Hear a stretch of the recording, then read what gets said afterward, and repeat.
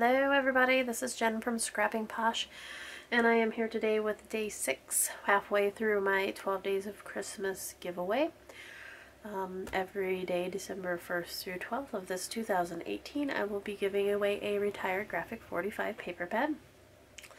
Today's drawing will be for this 8x8 Precious Memories paper pad.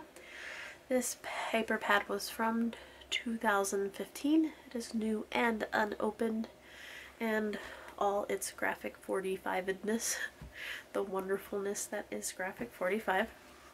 So, um, today is day six. This the drawing for this will be held December 18th. In order to be eligible for the drawing, you must be a subscriber and you must comment below. I appreciate a thumbs up also.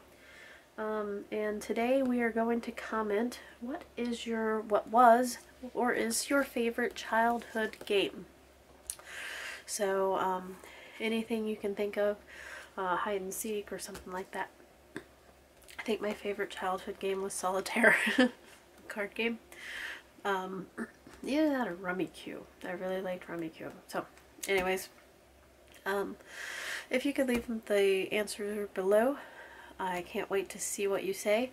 The drawing for this one will be held on December 18th and all packages will be shipped out after Christmas. In case you win more than one package, I can consolidate shipping. And my apologies, but as of right now, this is for the US only due to the cost of shipping internationally. So hopefully I can change that in the future, but as of right now, I have to stick with the US. So having said that, I hope that you guys all have a great day please like, comment, and subscribe.